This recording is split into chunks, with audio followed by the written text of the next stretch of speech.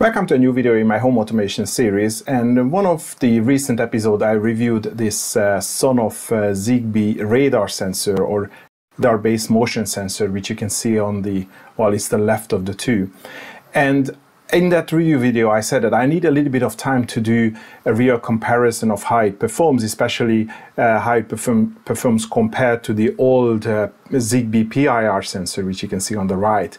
And now I had the time and I managed to go through a couple of scenarios.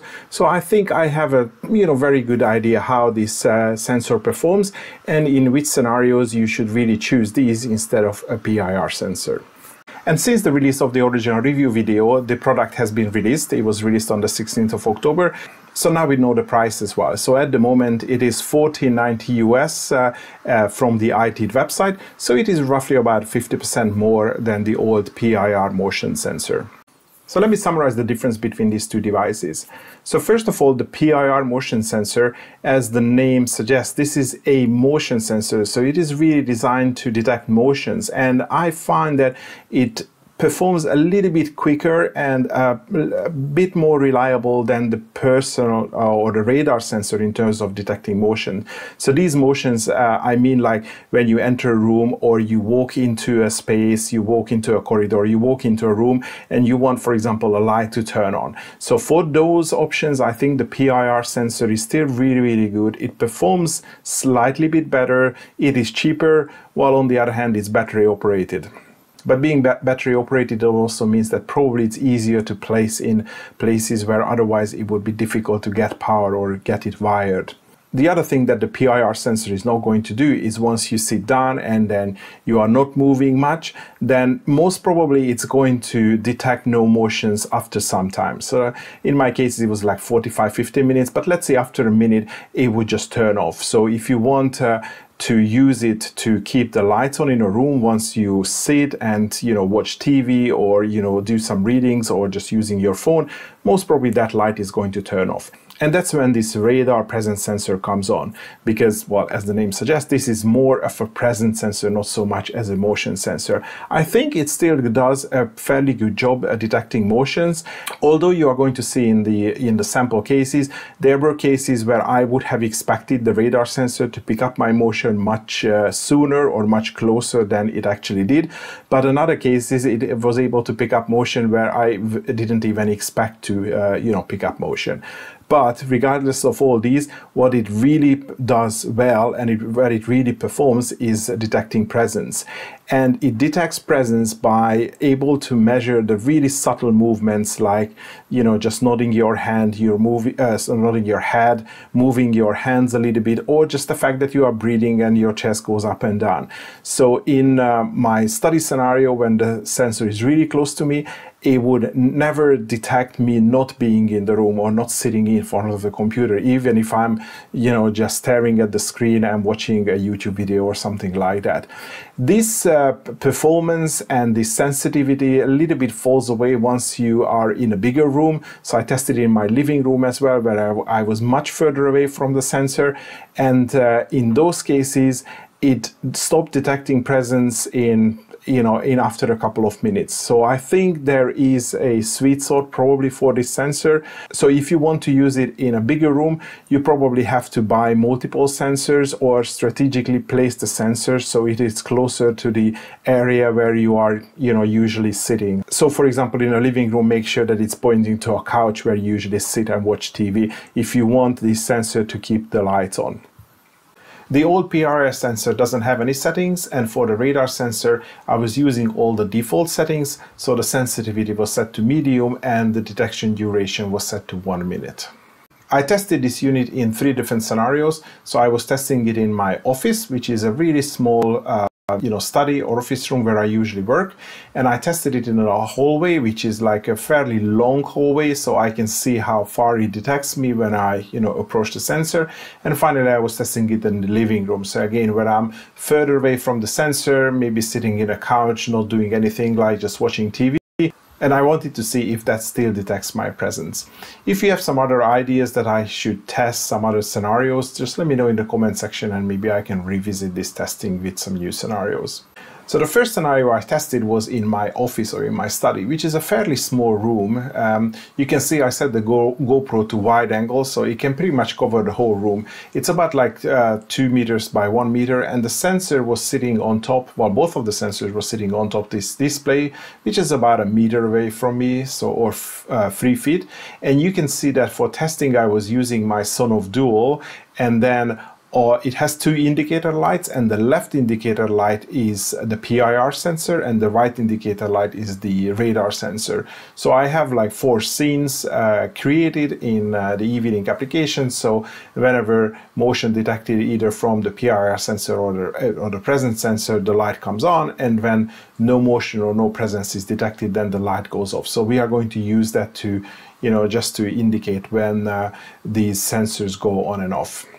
So the first thing I was testing is uh, what happens if I just um, sit very still. I just look at the you know the screen, you know checking emails, and I only use my right hand to operate the mouse and to scroll the wheel. And you could see that uh, when I was this sort of motionless, then the PIR sensor would turn off after 50 seconds. And I was using this uh, setup for you know many many days, and I never seen the uh, the radar sensors turn off. So this is such a close distance. Then I guess it can pick up my breathing, you know, my you know chest going up and down, and that is enough for the sensor to detect presence because as I said, as long as I was sitting in front of the computer, no matter how still I was, whether I was just watching something or listening to other guys in uh, you know conference call, it was still showing that I am present. So so for small rooms or wherever you can place the sensor close to yourself, it will reliably detect presence and you can use it to, for example, keep the lights on in the next test what i did i was uh, you know left the room because i wanted to see how long it takes for the sensors to go off. And it was you know more or less the same. The pir sensor turned off after about 45 seconds and the radar sensor turned off after 58 seconds. So it was it was more or less the same. And then i was coming back into the room and as you can see again the pir sensor was quicker and the radar sensor came on about two seconds later so that was more or less the same again. And as I said in the beginning, the PIR sensor was a little bit faster. Next, what I tried is uh, I tried leaving the room again, but and then I also thought that uh, would it make a difference if I close the room behind myself? And turning off the sensor was pretty much the same so maybe it took a couple of seconds less. Uh, here i measured like 45 seconds by the time both of the sensors gone off. And then when i came in and opened the room the radar sensor was able to detect uh, motion quicker than the pir sensor. And that's probably because my body was blocked by the the door. So the PIR sensor was probably not able to pick up the heat from the body as as long as the the door was you know pretty much open, but it's a big surface, so the movement of the door was picked up by the radar sensor. So that also shows that the radar sensor is not necessarily looking at body heat, so uh, a different motion would be able to trigger it. For the next scenarios, I move over to the corridor, and for testing, I mounted the radar sensor and also the PIR sensor on a wall. So I just put it on a piece of wood. Uh, and the camera was right next behind them. And if you look at the footage, there is a, stairwell uh, which is uh, opening on the right, and that's about like 8 meters or 26 feet uh, sort of like midway in the image. So that gives you an indication how far I was, uh, you know, when I was moving, moving in and out of the, uh, the scene.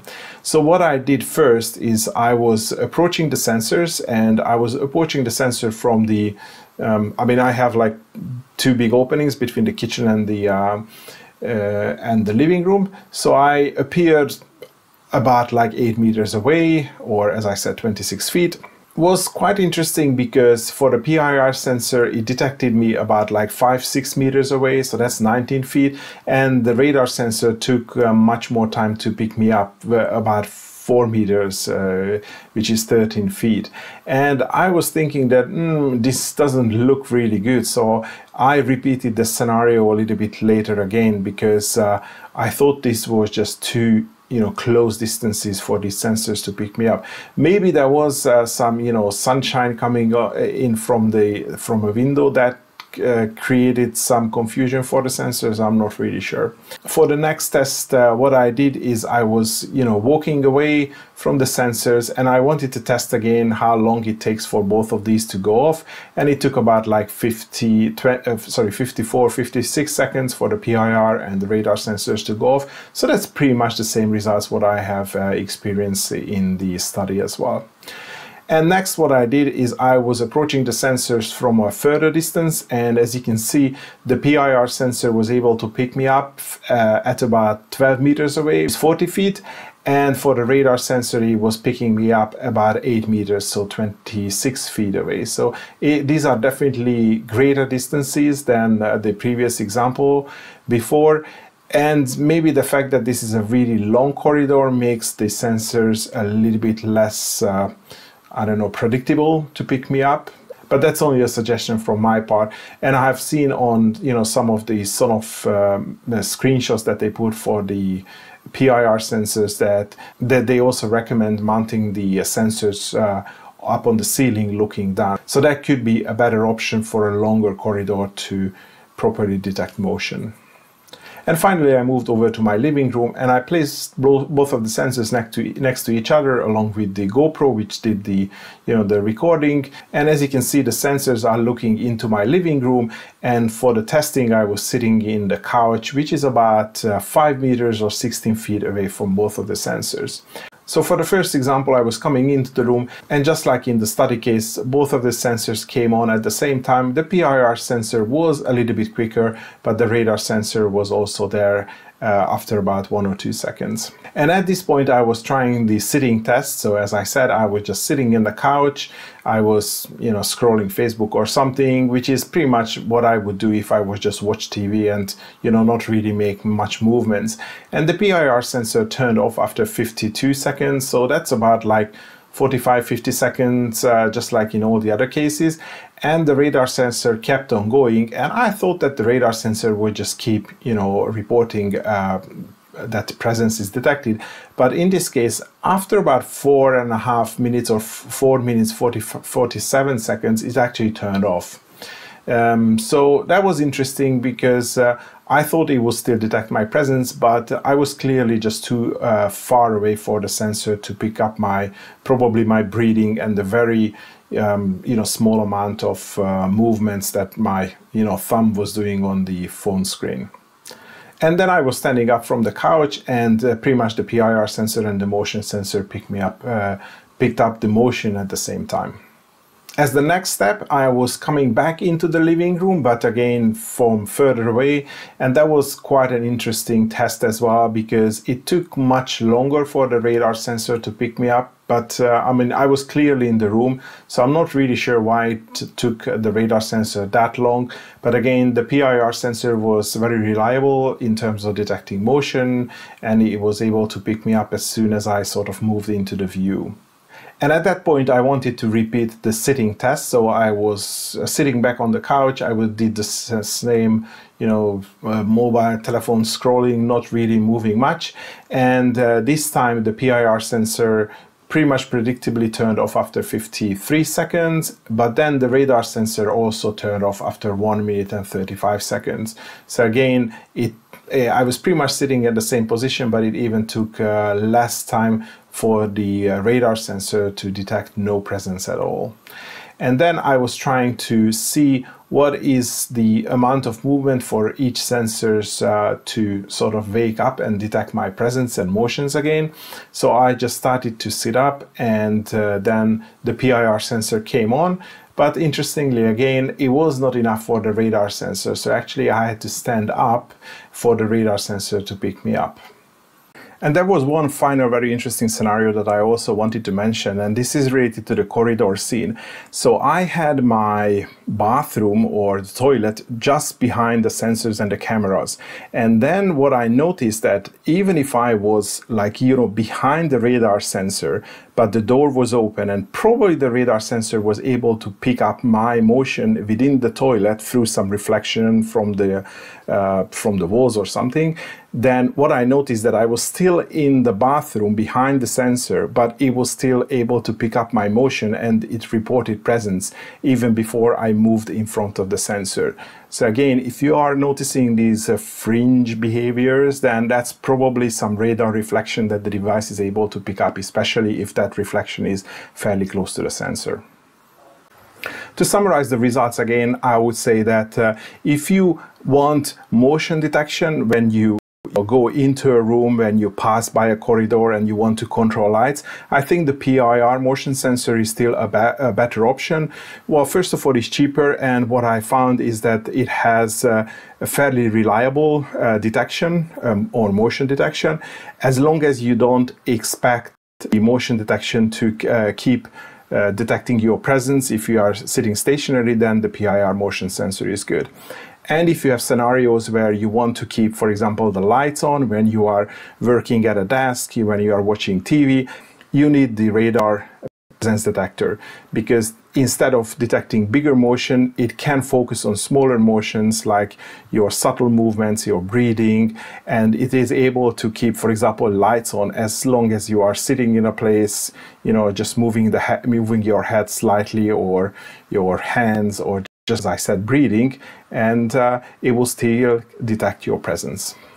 So I think that will be my review of these two devices or the comparison of these two devices. If you are interested in any of these sensors, there are going to be purchasing links down in the video description below. But that will be all for today. Thanks for watching and hopefully see you next video.